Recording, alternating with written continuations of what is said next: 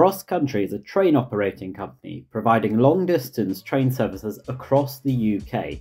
It serves many key cities including Edinburgh and Glasgow in Scotland, Cardiff in Wales, Newcastle, Leeds, Manchester and Birmingham in the Midlands and North area, and a variety of southwestern destinations including Exeter, Plymouth and Penzance. The main route is probably the longest one yet, between Edinburgh and Plymouth, which covers a staggering 566 miles in about 8 hours and 42 minutes.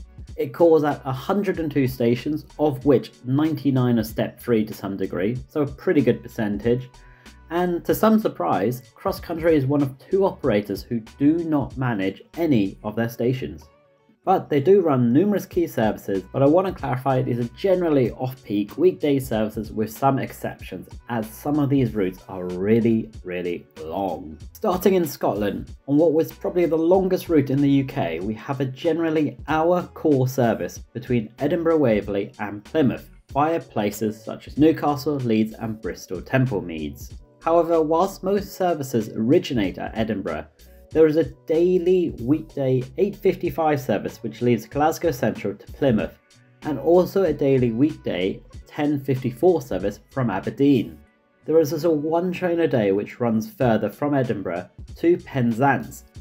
There is also a super early once a day service from Penzance to Plymouth, calling at most stations in the southwest, and also four trains a day from Newcastle to Derby via Doncaster.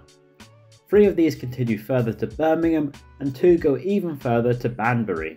At Manchester Piccadilly, another major hub for cross country, we have generally a train once an hour from Manchester Piccadilly to Reading, with one train a day heading via Crewe, whilst the rest head via Macclesfield, Birmingham, and Reading. From Reading, every other train, so once every two hours, extends further to Bournemouth.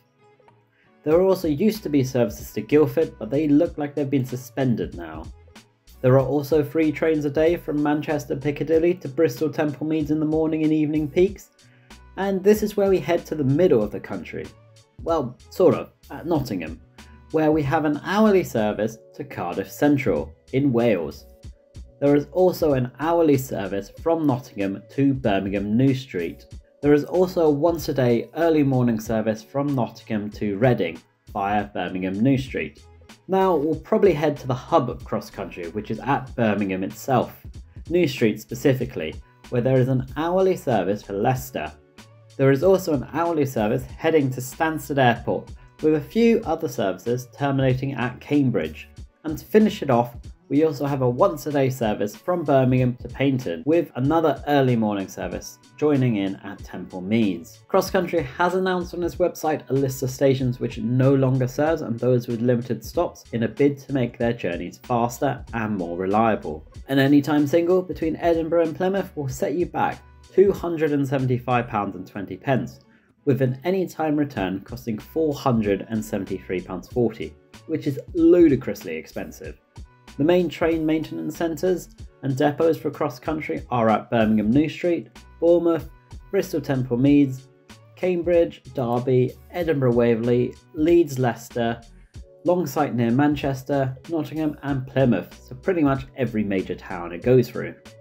The new cross country franchise dates back to only 2007, but we're going to go back even further to the original cross country franchise, which is much more interesting dating back to when regional railways, who were one of the divisions of the publicly owned British Rail, operated.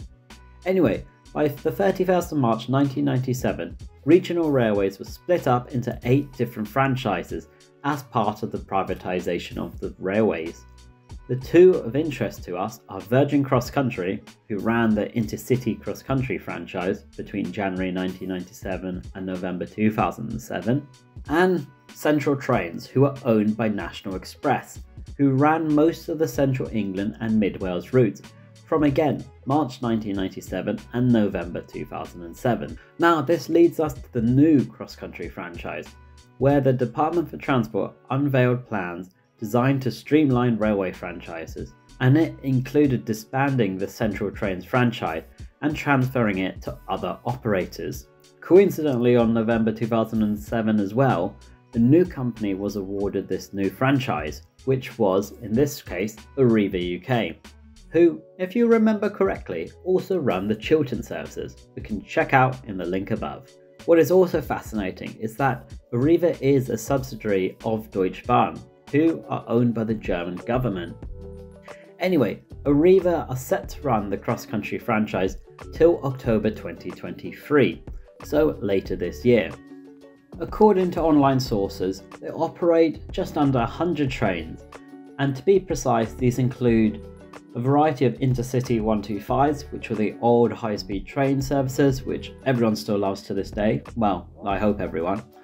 A variety of Bombardier Turbostars, including 29 Class 170s, which are for their more local routes, and also the Bombardier Voyagers. And these are split between 4 and 5 carriage models in various classes.